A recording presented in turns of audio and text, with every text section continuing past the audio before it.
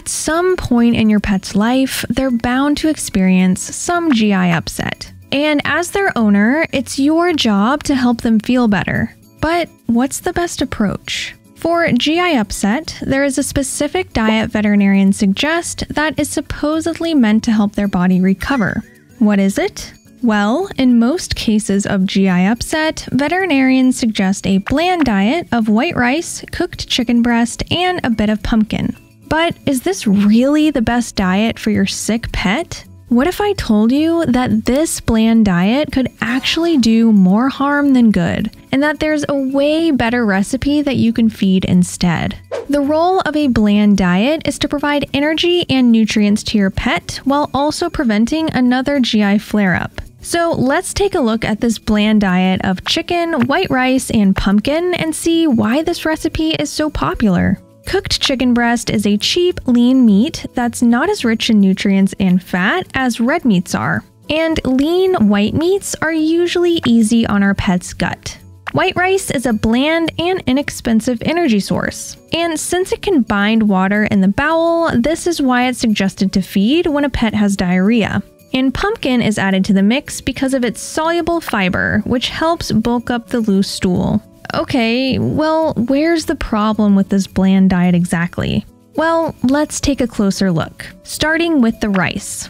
Rice may be able to pull water from the bowel to help stop the diarrhea, but it's not necessarily helping your pet's digestive tract recover. First of all, rice is an inappropriate food for carnivores. And additionally, it also ranks very high on the glycemic index, meaning that between the index scale of 0 to 100, with 100 being pure glucose, i.e., sugar, white rice ranks 72. This means when your pet eats rice, the rice metabolizes into sugar, which causes the blood sugar to spike. It's also noted in many studies that elevated blood glucose levels can cause inflammation in the body. So, if our pet's GI tract is already inflamed, why increase the inflammation?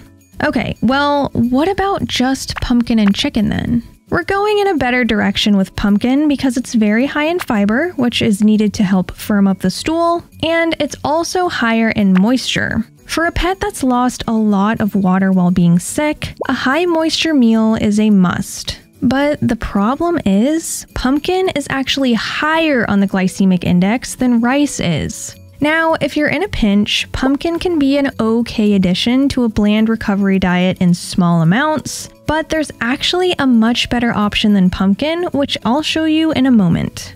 Alright, well, the last ingredient is chicken. How could this be bad? It's meat after all. Okay, yes, this is the most species appropriate food in this bland diet, but among all of the animal protein sources you could feed, chicken may actually be the worst one. First of all, when it comes to food related allergies, chicken is one of the top animal proteins on the allergic reaction list. This means if you feed your pet chicken who happens to have a chicken allergy or intolerance, you could be making their situation much worse. Conventionally raised chicken are also very high in omega 6 fatty acids and very low in omega 3 fatty acids. This imbalance of fatty acids can also cause inflammation in the body. And again, we're trying to reduce inflammation.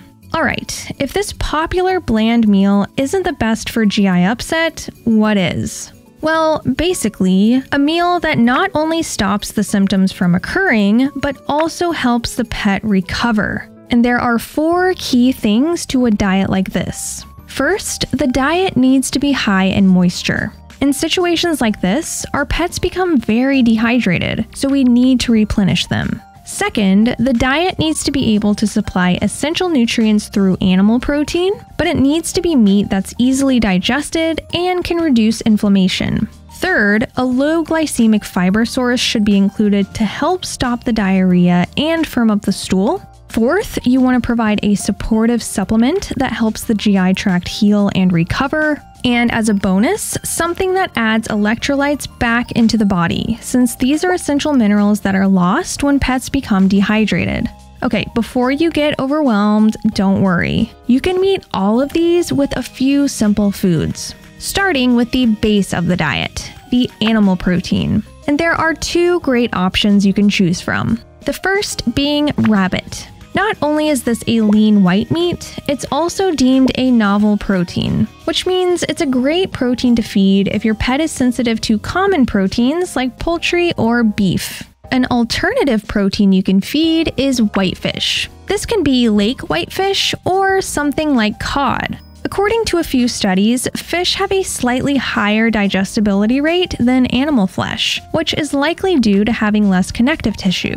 So, these bland fish are great for a recovering GI tract. Additionally, these fish provide omega 3s, which can help reduce inflammation.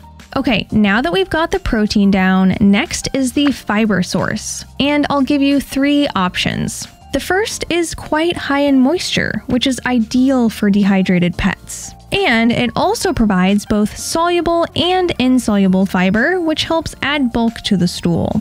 What is it? Zucchini.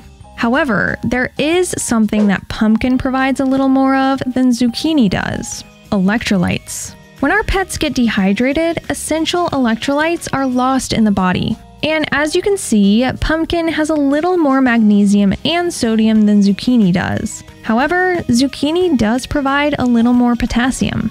But again, pumpkin is pretty high on the glycemic index. If only there was a vegetable that was low on the glycemic index, high in fiber, and high in electrolytes. Oh, there is! Butternut squash. Where pumpkin is ranked 75 on the glycemic index, butternut squash is 51. And along with electrolytes, butternut squash is also higher in vitamin C, which helps reduce inflammation and strengthen the immune system. Now, vegetables are not biologically appropriate for kitties, so a good fiber alternative for them is something called psyllium husk. This is a powdered soluble fiber source that can also help bulk the stool.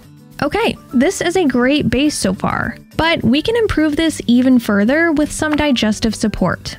During times of GI upset, your pet's gut flora is disrupted. This gut flora aids in healthy digestion, so to help build it back up, this beneficial bacteria needs to be added back into the diet. Well, how do you do that? A probiotic source. In humans, research has shown probiotics shorten illness by a day, and that after three days, diarrhea stopped. My favorite probiotic source to feed is fermented milk, also known as kefir. Not only is it tasty and very low in lactose, it's also a good moisture source to add to the meal. And speaking of a moisture source, the last addition to this recovery diet is moisture. This can be as simple as plain filtered water, or it can be something like homemade bone broth. Not only does broth have a natural gut soothing effect in general, but the gelatin from the bones, joints, and ligaments can help reduce inflammation as well. Now, you can stop here, but this next magic gut healer is something I always keep on hand in case of GI upset, and that is slippery elm bark. To learn more about it, watch this video.